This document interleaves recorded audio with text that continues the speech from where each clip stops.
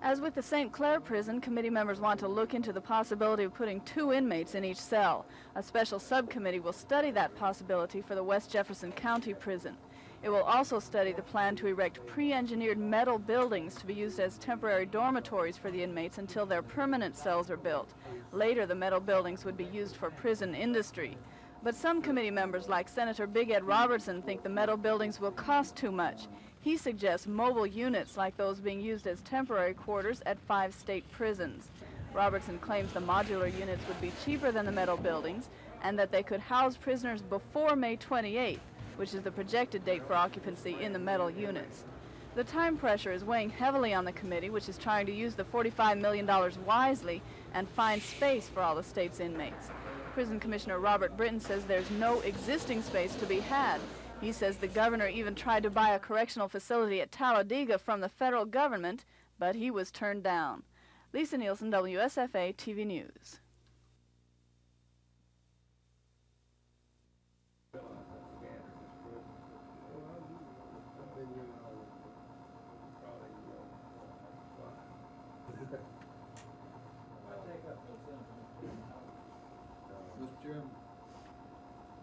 Could, before we go any further, we set a date. And then if this works out, we're pretty effective, see, we'll do the same with here. Civil engineering company in Birmingham. Uh, we are associated with soils engineering, professional soil engineering, people that will be able to really answer nuts and bolts questions that you may or may not have, unfortunately, some have. Tommy Adams, Tommy is uh, out of Little Rock. He is what we refer to as the project architect on this job. Uh, have Ms. Beasley is faced with what some consider to be a difficult question. Should she go ahead and transfer the workers even though the department says it can afford them? The transfer started out when the department, under then Commissioner Gary Cooper, ran into money shortages. Originally, as many as 100 workers were faced with transfers to local pensions and security offices. Later, that number was reduced to 21, but a group of those 21 filed a suit in circuit court saying the transfers were unfair. Circuit Judge Sam Taylor instead allowed the workers to air their grievances before an administrative hearing panel, an arm of the P&S department. Fifteen of the 21 workers have taken part in the administrative hearings, which are designed to let them explain why they shouldn't be transferred. Those hearings are over, and the hearing administrator has turned over a list of recommendations to Ms. Beasley, who isn't bound by the recommendations but will likely consider the legal advice. One source says the issue is particularly sticky for three reasons. The mandatory transfers of this sort have reportedly never been used in state government. The transfers carry legal questions about the workers' right to protect their merit system status, and the transfers involve basically autonomous local boards of pensions and security, which would individually have to vote to approve accepting the transferred workers. If Ms. Beasley opts to transfer the workers anyway, their suit in circuit court could be revived, if, of course, the matter doesn't make its way to the State Personnel Board first. At least five of the 15 who are contesting the transfers have already filed notices of appeal with the Personnel Board. Although Ms. Beasley says she may have a decision ready by the end of the week, the avenues of appeal could drag the transfer issue on for quite some time. Chris Grimshaw, WSFA TV News.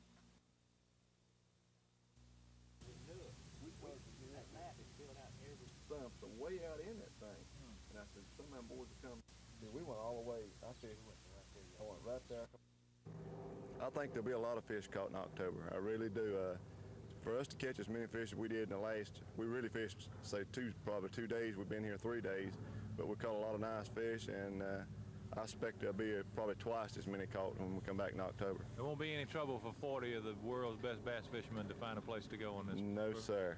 In fact, we about, we about got lost ourselves yesterday. We took a map with us, and Greg, my friend here, he came with me. Uh, he kept me posted on where I was at and uh, what marinas was close to, or the, uh, the creek channels. And uh, I think we done real good. I'm pleased with coming down and catch as many fish as I did. Okay, if the if the tournament was tomorrow, what would you where would you fish and how would you fish?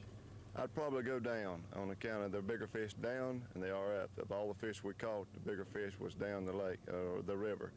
Uh, possibility bigger fish are going to be caught early in the morning. That's when we caught all our good fish. And it seemed like it got tougher up in the day, up in the midday it was so hot.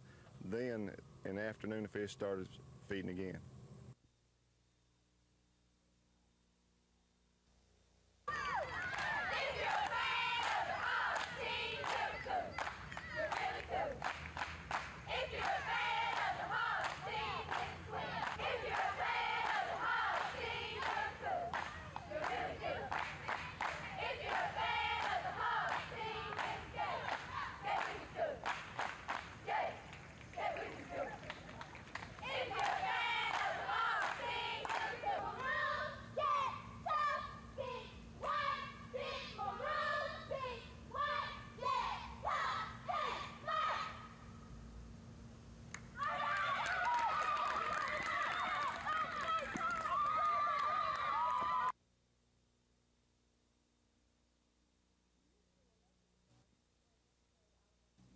The Municipal Electric Authority proposes to pay Alabama Power Company $412 million for ownership interest in the company's Farley Unit Number 2 and Miller Steam Plant Units 2, 3, and 4. The authority wants to gain direct access to the generating facilities as soon as possible so that it can offer service to its customers at a lower cost. The authority is made up of 12 Alabama cities, including Opelika, Dothan, Alexander City, Troy, Luverne, and Tuskegee. Uh, this would mean a savings over a 10-year period for the cities involved of $102 million. And it would mean a, a savings to the power company customers of $90 million. The $412 million purchase proposal estimates that the authority would relieve Alabama Power from having to raise approximately $344 million in capital or long-term debt for the construction of generation and transmission facilities through 1991 and $68 million for construction of transmission facilities through 1990. Cassandra Taylor, WSFA TV News. Uh, or with some other electric. With no budget, principals can't make intelligent plans for the school year. That's according to James Street, the executive director of the Alabama Council for School Administration and Supervision. He says since principals won't be able to plan class schedules or hire teachers without knowing how much money they'll have to work with, they can't begin classes. Street says he hopes lawmakers will pass a budget quickly during the upcoming special session, but since the governor may call for some reform packages as well as the education budget, Street says it could take all month for a budget to be approved. One of the hangups on the education budget during the regular session was a statewide health insurance plan for teachers. The Alabama Education Association pushed for a $21 million package to be administered through the retirement systems. Now Street says he and members of his council favor a budget proposal developed by State School Superintendent Wayne Teague. One of the main differences in the two is the insurance package. Teague proposes only 16 million to be administered through local school boards. Another change, level funding for higher education with major emphasis on elementary and secondary education. Street says there'll be no need for colleges and universities if K through 12 isn't built up. Gina Gregory, WSFA TV News.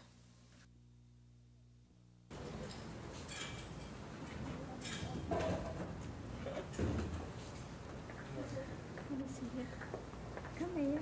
I'm playing. TV. See y'all.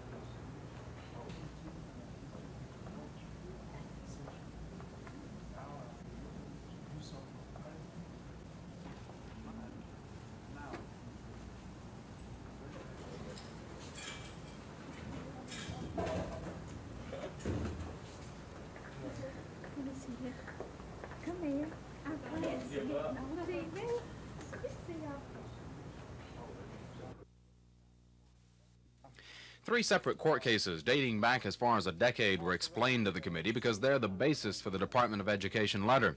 The intent of the explanation, according to committee chairman Joe Sutton, was to bring what he called a common level of understanding as to how the problem arose in the first place. The committee was also given a long list of criteria which has been outlined as necessary for an acceptable plan. This includes statistical information on the number of blacks and whites graduating from high school to the number of blacks enrolled in the colleges and universities versus the proportional number of blacks in the faculty and administrative positions. Tomorrow, the committee will listen to a representative of the Florida college system, which has had their plan approved already. The committee will then break down into subcommittees and actually begin drafting the plan piece by piece. Sutton said following the Florida representative's presentation, the committee would go into executive session and continue its work in private. Chris Grimshaw, WSFA TV News. This is the height of the training season when guard divisions come from all across Alabama to Camp Shelby to simulate some of the situations troops might face on active duty. Each division has its own tasks, such as this one from Selma, which performs support services. These soldiers see that combat troops have water, food, ammunition, even a laundry which cleans some 800 pieces a day, and a bakery which daily bakes about 200 loaves of bread. Alabama has more National Guardsmen than any other state, a fact the governor is pleased to point out. It is outstanding, and as I said earlier, I think the uh, Alabama National Guard is recognized as the best in the United States. We're awful proud of that. But the governor isn't the only familiar face at Camp Shelby this week. Montgomery Mayor Emory Folmar even outranks Troop Commander General Henry Cobb. President Reagan has appointed Folmar a civilian aide to the Secretary of State. After the guardsmen finish here, they return to their homes where they are lawyers, accountants, mayors, and even governors. Lisa Nielsen, WSFA TV News, Camp Shelby, Mississippi.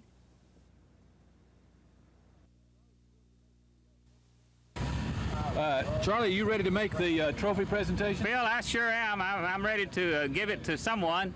Okay. What, Well, that's okay. I'm the best there is. Why don't you give me the trophy? Can you read those bones? I can read them, but it's hard for me to add that fast. And I'm playing uh, Coach Bear Bryant. I've heard of him. And I'm going to take me a add machine and add up on that because I know he's smart. You haven't put his name on the trophy yet. We haven't put it on there yet, but we're going to see tomorrow who can who can come out the winner. Now, of this son, uh, brother Snow, this is the world champion domino tournament, and it takes place in Alabama. And I'm thrilled about this, us Southern folks. And there'll be folks from all over the world trying to be the number one domino player in the world, and I'm glad to be part of it. I want to know when you were selling fertilizer, did you ever slip in on some of those partner games that they have around and all? Ooh. I did, and I'd watch them, and I'd see some geniuses at work, and sometime, uh, uh, son, it'd go on forever, too. In the back of them country stores. Uh, on one of my albums, I talk about how the bus drivers sat on the nail kegs and RC Cola cases playing dominoes, waiting for school uh, to let out where the buses could load. I know why you're here. You're going to get more material down there at that domino tournament than you have in six months. I sure hope so. I really do. You a good one, son. I reckon you know Mississippi State's done hard Okay. Coach Barfield. I reckon I Yeah, did you see the Street and Smith magazine? Where'd they put it? Oh, then put them Mississippi State Bulldogs number one. Oh, I can't stand it. Oh, ain't that something? I'd rather be picked last and come in number one. But this is a domino tournament, and I told them Brother Snow would tell everybody uh, what uh, great job the doctor does down at Andalusia promoting this thing, and and I am overwhelmed to be part of it. And I do play Coach Bryan in a, in a game of dominoes. Good luck. I'm gonna try to whoop him. All right. Yeah, we ain't got to go have, but this interview ain't over. It's over. Oh, oh, oh, oh, I, I, we better than what's fixing to follow us. oh, say bye bye, Doc. Bye bye. We appreciate you doing it, Phil. Thank come on down. Send you send the Mississippi truck darling. you may have to come back sometime, son.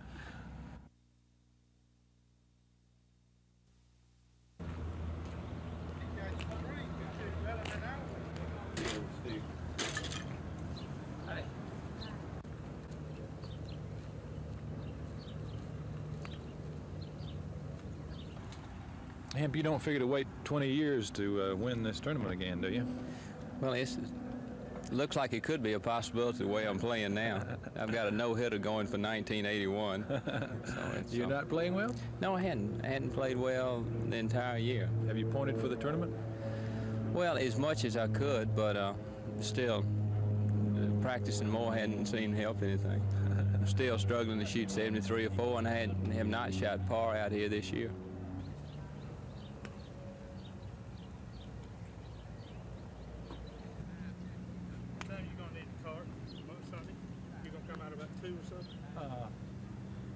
Well, Phil, we- we're going to have the best team we've had. And we've got a very difficult schedule. We've got uh, seven bowl teams, and then LSU turned down a bowl. And we've got Arkansas, Alabama, Georgia, and Florida in a row. So we, we better have a good team. You sound like Pat Dye. He's telling the same story. Is that right? Well, that'd be good. we don't play them, unfortunately. so you all can commiserate. huh? You bet. We've got plenty of hard games as it is.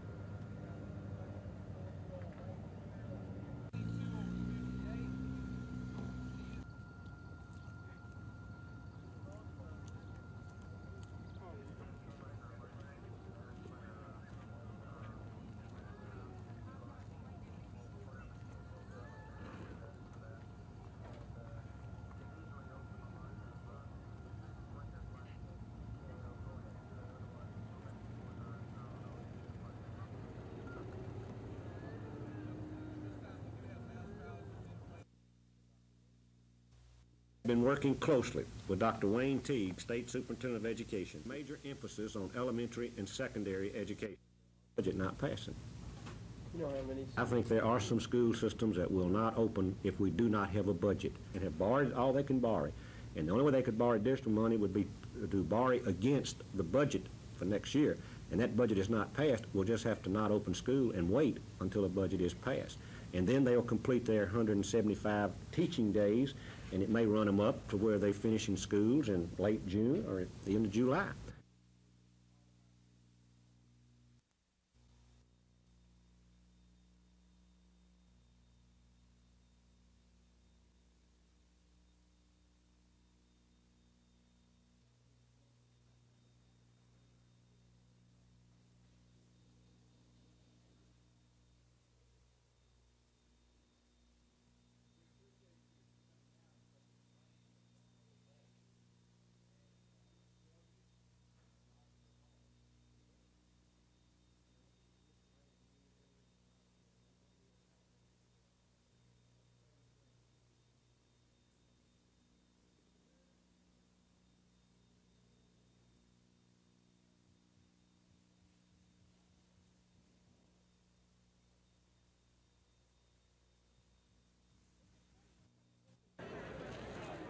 It took 4,100 workers to build the plant using tons of steel and concrete at a price of more than a billion dollars. The Joe company officials celebrating the plant's completion say that's a small amount compared to the benefits customers will receive. Unit 2 is undergoing final testing now and is expected to go online When Alabama schools open next month, several Montgomery teachers will already be prepared. The local instructors are getting most of their classroom material together now, but in a different sort of way. They're drilling, drawing, measuring, and creating classroom instruction with cardboard. The idea cardboard carpentry, an inexpensive way for teachers and homemakers to build anything from tables and bookcases to baby doll cradles and even Winnie the Pooh. The instructor of the Cardboard Carpentry Workshop is Dr. Jerry DeBruin, who also authored a book on the subject. DeBruin says the idea originated in Massachusetts, where he picked it up, then took it to Illinois, Ohio, and now to Alabama, where DeBruin says the idea has really caught on. It has been very successful around the United States, uh, for 13 years now, we have introduced, I would say, hundreds and hundreds of teachers to the basic principles of cardboard carpentry and building things. And I see in Montgomery, Alabama, a real nice sharing and caring among teachers, working together, sharing ideas, which is why this center is so vitally important to Montgomery. It really gives teachers a chance to share care for each other and develop materials that will ultimately help children. One teacher says she likes building classroom materials for her students because she says it gives children a more helpful way of seeing exactly what the instructor is teaching, and instructors won't have to worry too much about children tearing up the crafts. Mr. Bruin says the cardboard is like jeans, tough enough even for kids. Kim Davis, WSFA, TV News.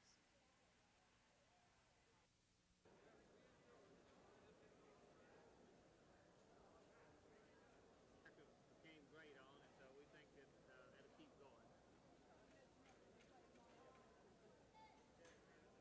That's Australia. Now we had some people from Liverpool, England here. We had some people from California. Uh, we had them all over the country. Otherwise, Washington D.C., uh, Ca- uh, Dallas, Texas sent a big group in here. We received, uh, say,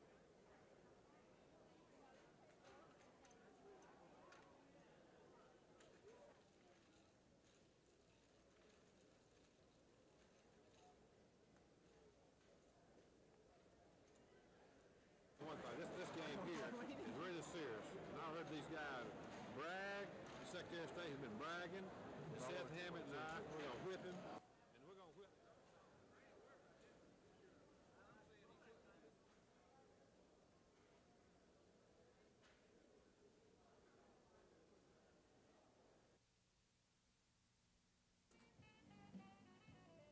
Chris Dias is 20 years old. He says that's a good age to be in the profession he's chosen. Dias is a male model. Six months ago, some friends got Dias interested in modeling in some local fashion shows. Doing that for a while, he traveled to the Southeastern Models Convention in Anniston as what he calls just an interested observer. But that observation proved to be well worth the effort. A New York modeling agency representative saw Dias and asked him to come to New York. Dias went last week and signed with the Elite Modeling Agency. He says they liked his wholesome look. Well, um, up there I'm considered to be, they say I'm the California surfer type. And uh, I guess I have a look for every different kind of model there is. Cynthia Jessner, owner and director of Cynthia's Studio in Montgomery, where Dias got his start, says he is the first model of her agency to go to New York. She says Dias got a lucky break. It's very difficult for even very experienced models to get signed by New York agencies. Um, you really have to have a special kind of look, you know, and it's very hard to break into the business. We've been very fortunate. Dias says he feels very lucky and attributes much of his success to the support of friends, without which he says he might not have held up under the strain of the stiff competition of modeling. Tom Foreman, WSFA TV News.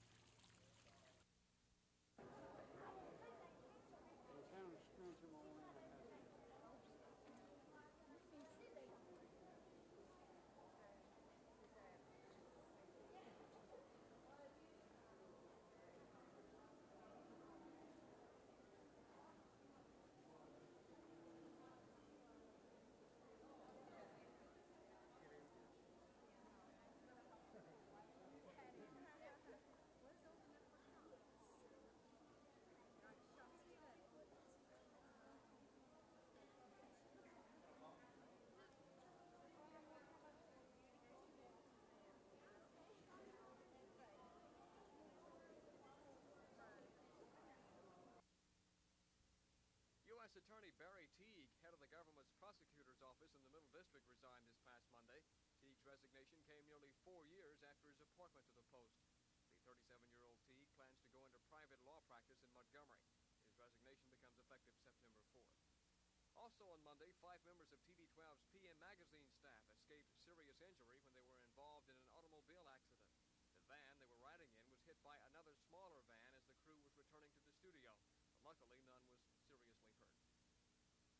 On Tuesday, the Attorney General's office recommended that the Public Service Commission grant South Central Bell Telephone Company only 20% of the $147 million it's seeking in a rate request. The recommendation calls for a $7.4 million increase instead, which would give Bell an 11.47 rate of return rather than the 13% it's seeking. A legislative oversight committee gave final approval Monday for construction of a prison in St. Clair County. The governor had signed a contract to build the prison, but lacked enough money to complete it. Also this past week, Attorney General Charles Graddick denied a newspaper report by the Alabama Journal which accused Graddick of mishandling $4,000 while district attorney of Mobile County. However, at a news conference, Graddick produced bank and court records which accounted for the money. Graddick threatened to sue the Journal unless it prints a retraction and has given it 10 days to do so. State School Superintendent Wayne Teague this week urged Governor Bob James to call the legislature into session as soon as possible to pass an education budget. Teague said unless immediate action is taken, some schools may not open in September. Montgomery Federal Judge Robert Varner this week told state welfare officials to do away with unreasonable delays in the processing of welfare applications. Requests for age-dependent children are supposed to be processed within 45 days. Varner says during the past year, the agency has failed to process more than 6,000 applications in the required time limit. Acting P&S Commissioner Rebecca Beasley says she hasn't decided whether to appeal Varner's ruling. On Friday, a representative of the Florida University Board of Regents explained to a group of Alabama University representatives how the Florida system complied with the Federal Department of Education plan for equal education for blacks and whites. The Alabama Planning Committee must now decide what approaches the Florida plan has that they can adopt. Also on Friday, Alabama Power Company dedicated its billion-dollar Farley 2 nuclear power plant near Dothan, Alabama. Alabama Power will put the facility online in August to begin generating electricity. Dan Black, WSFA TV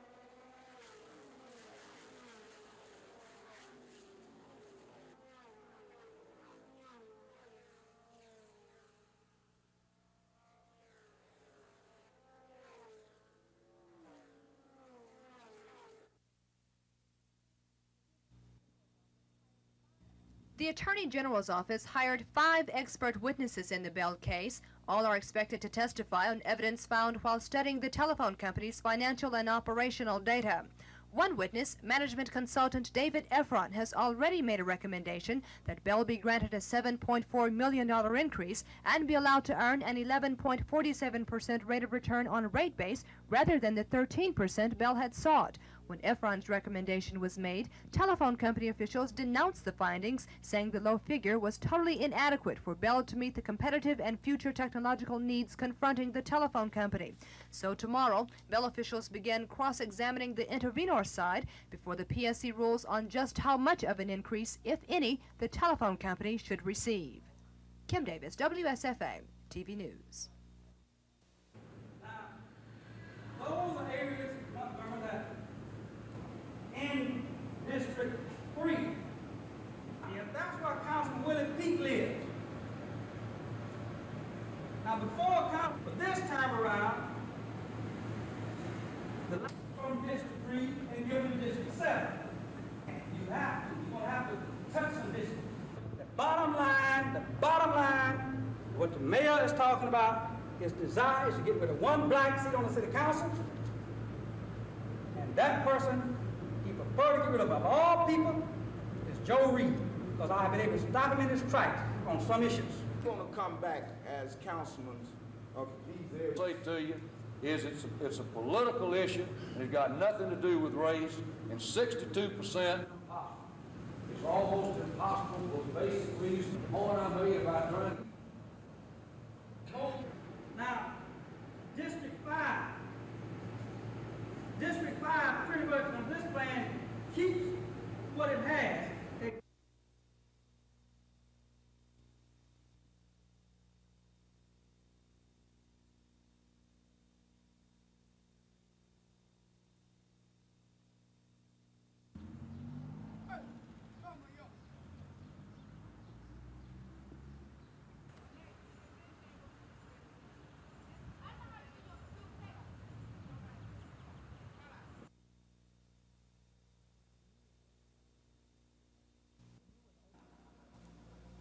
The new and ultra-modern emergency department facilities at the Southeast Alabama Medical Center in Dothan are expected to provide a degree of service not previously available to emergency patients in the area.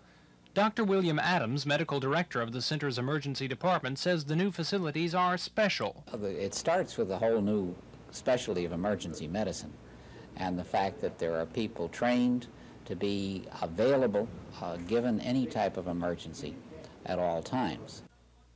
Dr. Adams says when the center opens tomorrow, it will have by far the largest emergency department in the tri-states area. Although emergency treatment has always been available, he says this will supplement the services of private physicians. A team of four doctors along with a well-trained staff of nurses will provide 24-hour service to the emergency department. Dr. Adams says this is just part of the whole secret to efficient emergency room service. One of the other parts is adequate equipment and space. In the past, he says quarters have sometimes been cramped at the center. Dr. Adams says the new system will provide much better care. I think without question we will be able to get to a lot of people faster because we will have more places for them to be. It will make it the physician able to see more of the patients and the fact that we're instituting the triage nurse situation so that uh, as a patient comes in, they will be categorized by a trained emergency person. The triage system provides a registered nurse at the front desk to determine which patients need immediate help. Dr. Adams says emergency room care is not a first-come, first-served situation. The medical staff must be prepared to process those situations most critical at the moment. Triage will play an important role at the new facility, since about 30% of the medical center's patients are admitted through the emergency department. Tom Foreman, WSFA TV News.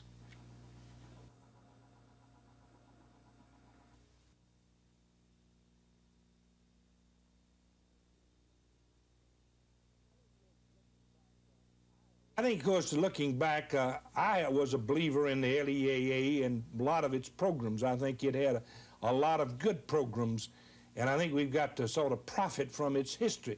Uh, take the good programs, uh, revise them, and do away with the ones that wasted money that were not effective. But I think it, there is a need for assistance, particularly in regards to police education. In Alabama, we adopted a minimum uh, training program that requires that every new policeman during his first nine months in office that he has to have 240 hours of basic fundamental uh, training and education in regards to the police science.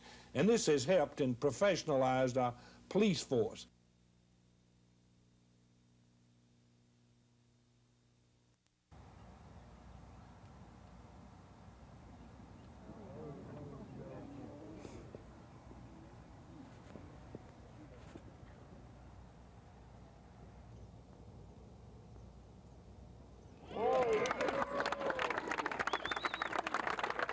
Today I struggled the whole way around. I guess I just I got in trouble with a lot of drives, and I, scr- I thought I scrambled real well, and didn't make didn't make but one birdie all day. But and that was on 16, so I wasn't hitting the ball very well. I just made the putts I had to make. I guess. Was there any point during the, the game that you thought you had it made or had it licked? So when I had that putt on 18 was the first time I thought I could win because I'd been behind all day, and uh, that putt right there was the one that put me ahead. I, I thought I might could win on 17 when Hamp made bogey and I made a par, so that tied it up. I knew I knew I had a chance then, but I wasn't sure till that last putt went in the hole.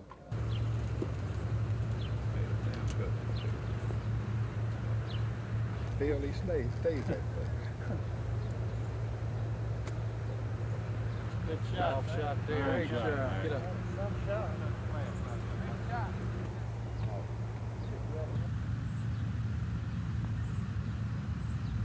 What?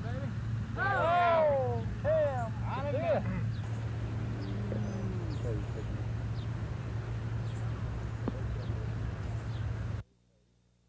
Green, Jerry Pate. Um, we've had some amateurs that are still amateurs today that have played, like Griff Moody and Bob Tway, and several of uh, several of them that are still on the college golf team.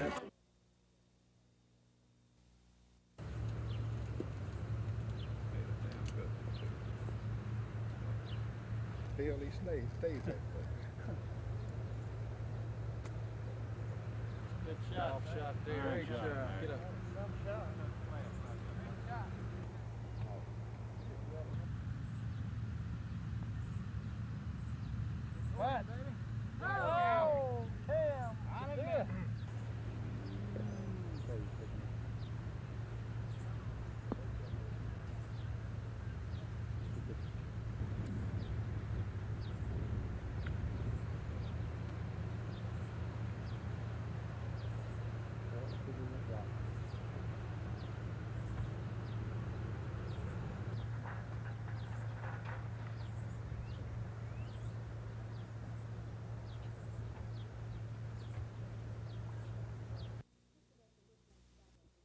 Mr. Baker, this is South Central Bell's largest single rate increase request. Why does the phone company need that much money?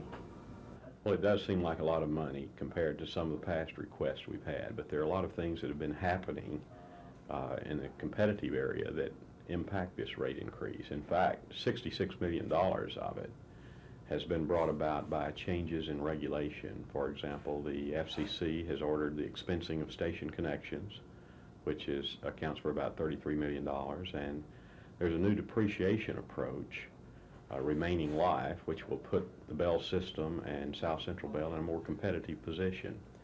We need the money for one basic reason. Our company is not immune from inflation. Our employees uh, must be paid wages so that we can continue to attract, attract good people. And we have a very, very tough job providing service to Alabamians. Alabama is a growing state, and as it grows, we must be here to provide the telephone service. And those are the basic reasons why the increase is as large as it is. During the opening testimony, several persons on fixed incomes spoke out against the proposed increase, saying that if it is granted, they won't be able to pay the higher telephone bill. How do you feel about that?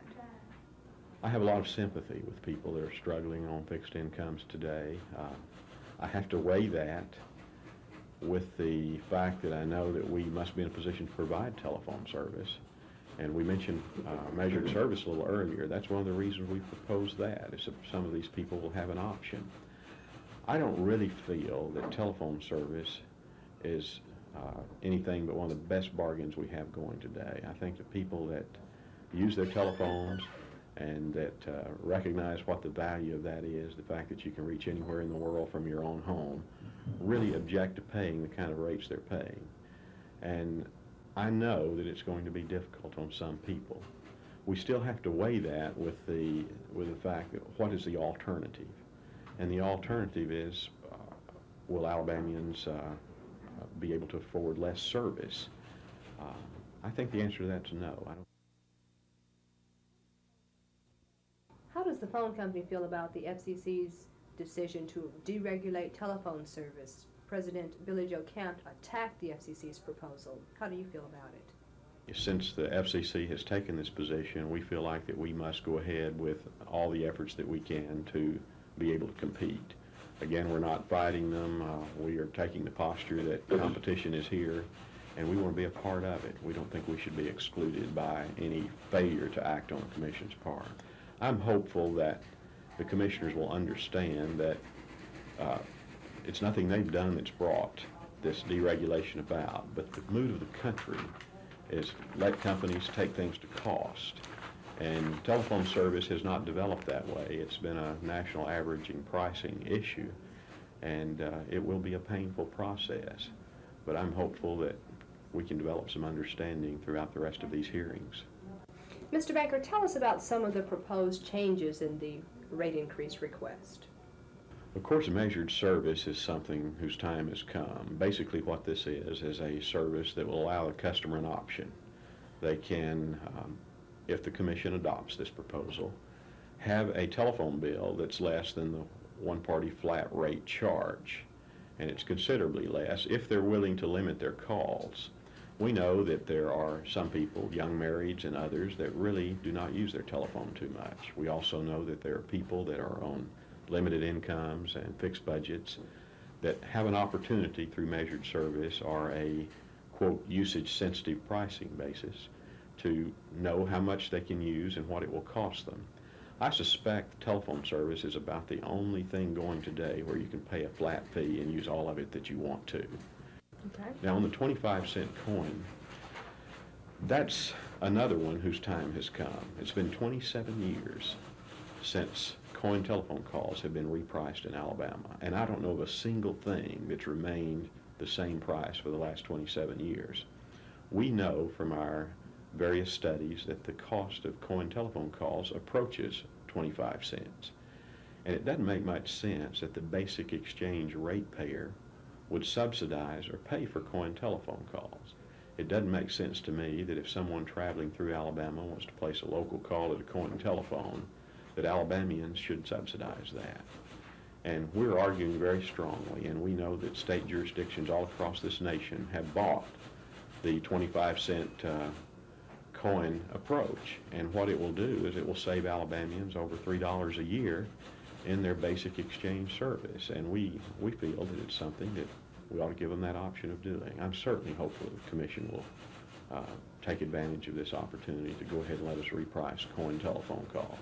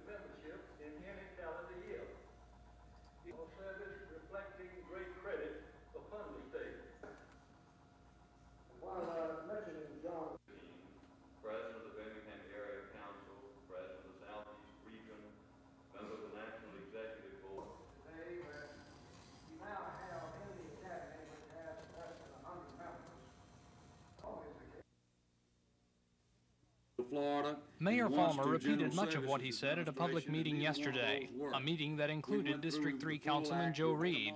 But Reed wasn't at the meeting today, and Folmar waged an all-out attack on Reed. The mayor says Reed is trying to turn a political issue into a racial one. Yesterday, Reed said Folmar's plan is designed to break up the black vote in District 3 by reducing it from its current 80% to 62%. Reed claims this is to keep him from being reelected.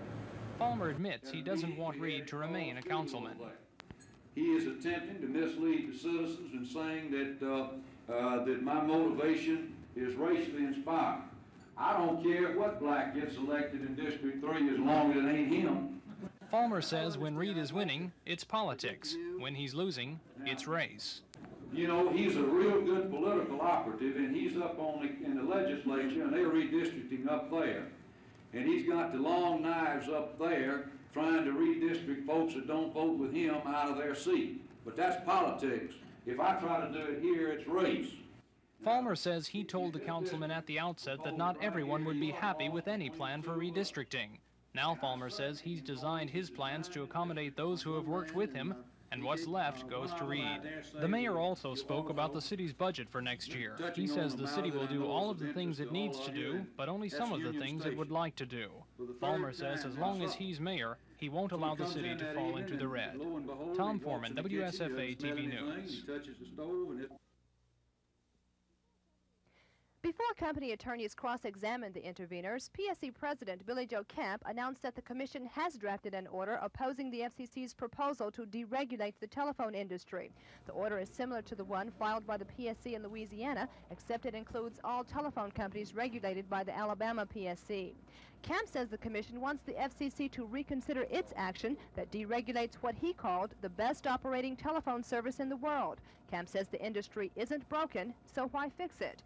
Responding to the PSC's decision, South Central Bell's Vice President Carlton Baker says the proposed action to keep Bell from entering the competitive market is not only unfair, but isn't in the public interest. Baker conceded, however, that deregulation could cause customers to pay substantially higher rates. Commissioner Jim Folsom